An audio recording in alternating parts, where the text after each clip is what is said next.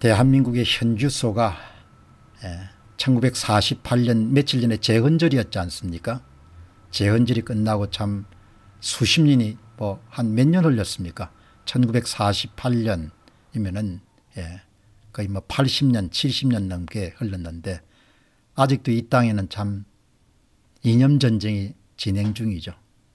이념 전쟁이. 얼마 전까지 그 소위 좌파 사상으로 무장한 대한민국의 586 운동권 출신들은 부정선거라는 최신 병기를 이용해 가지고 권력을 20년 50년 100년 그렇게 그 권력을 탈취할 수 있는 그런 기회를 가졌지만 자신들의 실수 때문에 그 기회를 놓친 것이죠. 어마어마하게 중요한 일입니다. 그러나 국민들 가운데 또 많은 사람들은 별 관심이 없는 겁니다. 권력이 탈취당하든 선거 부정에 횡행하든 좌익이 이런 권력을 장기 집권하든 별 관심이 없는 겁니다. 그렇게 딱, 딱한 겁니다. 예.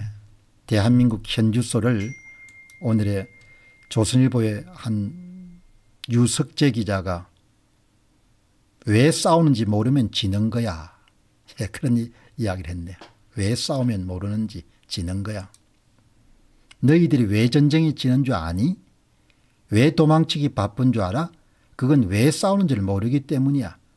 영하 고지전의 한 장면이고 6.25 전쟁 초기 전투에서 승리를 거둔 북한군 장교는 국군 포로들을 향해서 오만한 표정을 지으며 이렇게 말한다. 영화가 개봉된 지 11년이 지났지만 지금도 강력하게 남아있다. 여러분 전쟁이 터지면 무엇을 지키기 위해서 싸울 수 있겠습니까?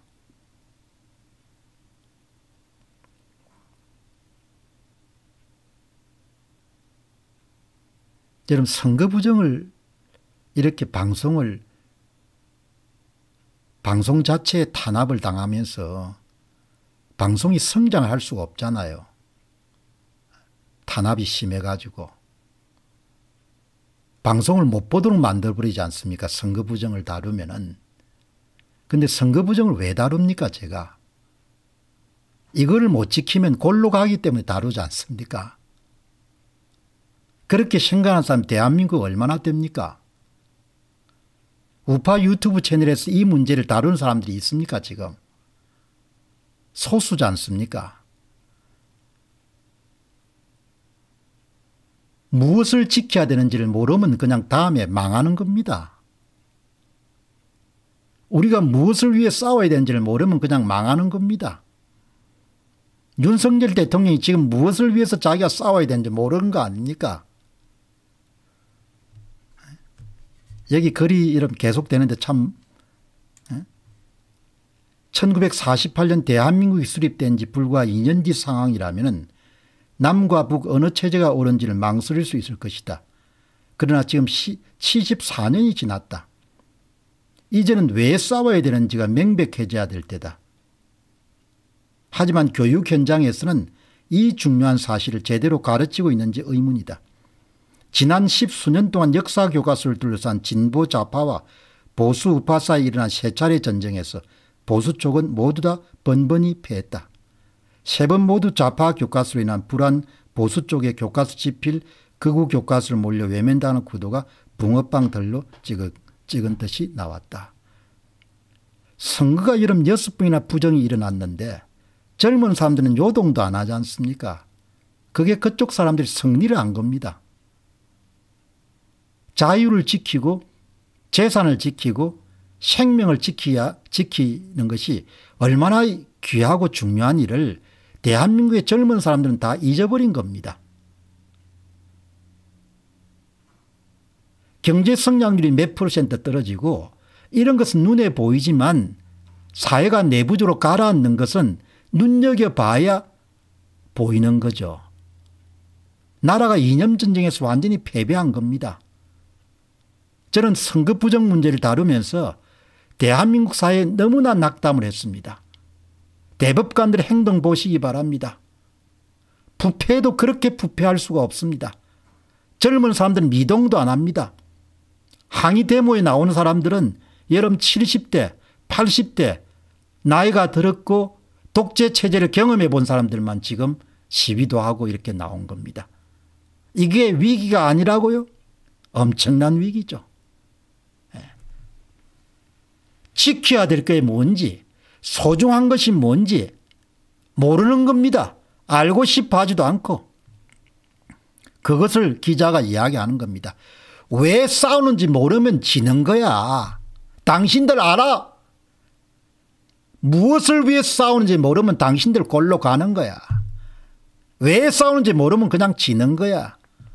6.25 전쟁 때 인민군 장교가 국군 포로들 앞에 놓고 이야기를 한 그 영화의 한 대목을 유석재 기자가 인용한 겁니다. 여러분 그 소위 이번 6월 1일 지방선거에서도 마지막까지 뭐죠 서울 특별시 교육감 선거에서 단합이 안 되지 않습니까 예. 다 이익을 쫓는 겁니다 예. 지 이익밖에 없는 겁니다 왜 싸우는지 모르면 당연히 지죠 왜 싸우지 못하면. 예. 정신이 무너지면 물질도 무너지지 않습니까? 정신이 무너지면 물질이 무너지지 않습니까? 정신이 무너지면은. 그래서 마음과 생각을 지키는 것이 굉장히 중요하지 않습니까? 공동체를 이끌고 있는 지도자들도 생각과 마음을 어떻게 지킬 것인가 대단히 중요하죠. 지금 우크라이나하고 이런 러시아하고 이런 싸우는 걸 보면은 너무나 많은 것을 생각하게 되지 않습니까? 우크라이나 사람들이 그 참화 속에서도 나라를 지키겠다고 저렇게 열심히 노력하지 않습니까? 다음에 한반도에 전쟁이 터지면 미군이 어떻게 오겠습니까? 저는 안 온다고 봅니다. 미디어가 발달돼 가지고 자국의 젊은 사람들이 6.25 전쟁터는 가가 피를 흘리고 죽는 것을 어떻게 그 사람들이 용인하겠습니까 대만 전쟁 터지면 이런 미국이 개입하겠습니까 지금 우크라이나처럼 무기 정도는 줄 수 있겠죠. 그러나 직접 뭡니까 파병을 하거나 그게 쉽겠습니까 불가능한 거죠.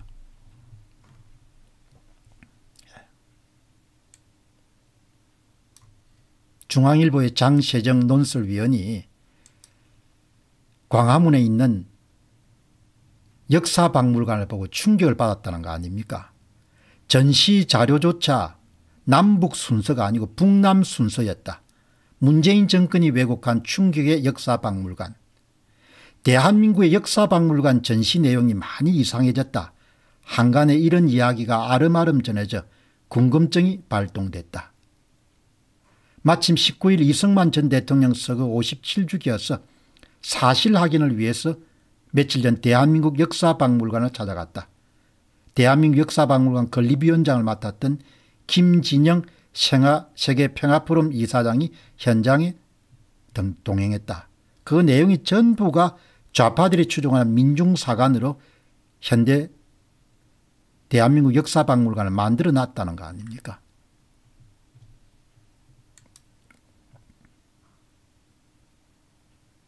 누가 만들었냐 문재인 정부 시절 2017년 11월 당시 도종환 민주당 의원이 문화체육부 관광부 장관으로 부임해서 상명대학교 주진우 교수를 새 관장으로 임명하면서 전시 내용이 확 바뀌었다고 정언했다. 주진우 관장 부임 이후 전시 내용을 전면 개편하려고 했으나 예산 문제로 지연돼 결국 2026월에서야 지금의 5층 전시관처럼 수정했다고 한다. 그 이후 3층 테마관 4층은 체험관으로 바뀌었다. 주진우 교수는 국정역사 교과서를 비판한 좌파 사학자로 불린다. 특히 그가 집필한 한국사 교과서에 한반도 유일의 합법정부인 대한민국을 선거가 가능했던 38도선 이남 지역에서 정통성을 가진 유일한 합법정부라고 소수해서 정통성 훼손 시비를 일으키려고 했다. 좌파들이 나라를 완전히 장악을 한 겁니다. 마지막에 여러분들 완료하는 그런 술수가 부정선거였지 않습니까 그 선거 부정 문제를 지금 윤석열 대통령 전혀 언급도 안 하고 그것을 해결할 의지를 안 보이지 않습니까 예. 그 사람들이 여러분들 추진했던 마지막 프로젝트입니다. 그게 여러분들 실수가 발생 안 했었으면 20년 30년 50년 계속 집권했겠죠.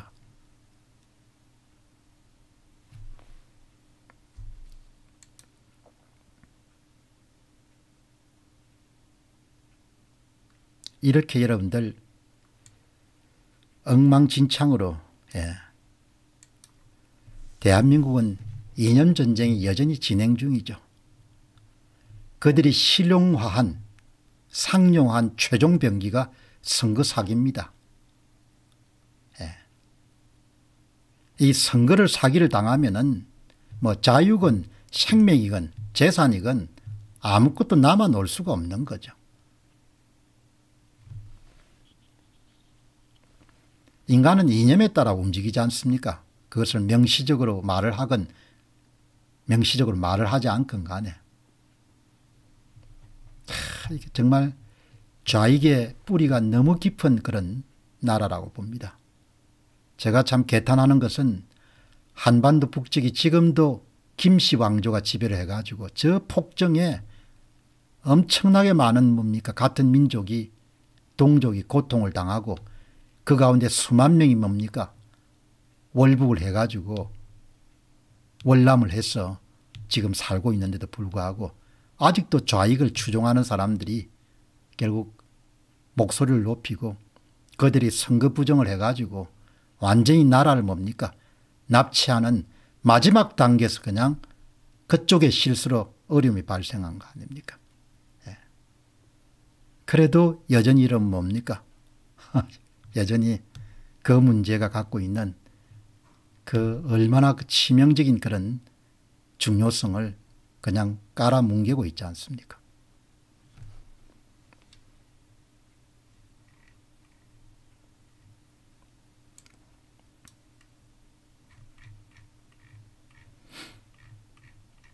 여러분 오늘 이제 제가 말씀을 좀 드리고 싶은 것은 현재 대한민국의 선거는 그냥 당선자고 낙선자를 얼마든지 조정할 수 있는 조작할 수 있는 그런 상황에 지금 놓여 있습니다. 예, 그러니까 이게 보통 심각한 문제가 아니고 예, 그것이 이제 교정될 수 있느냐는 문제가 이제 이번에 7월 28일 날 대법관들이 결정하는데 대법관들이 그동안 해온 그런 뭐 행위나 작태를 보게 되면은 그렇게 긍정적인 생각을 가질 수가 없죠. 예.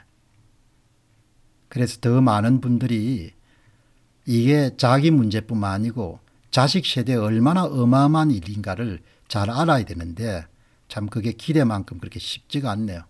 예. 완전히 뭡니까 그냥 예 그냥 당선자와 낙선자를 자기들 마음대로 결정할 수 있는 시대가 된 겁니다. 여러분 오늘 새로운 사실을 한번 말씀을 드릴 테니까 잘 한번 들어보시기 바랍니다.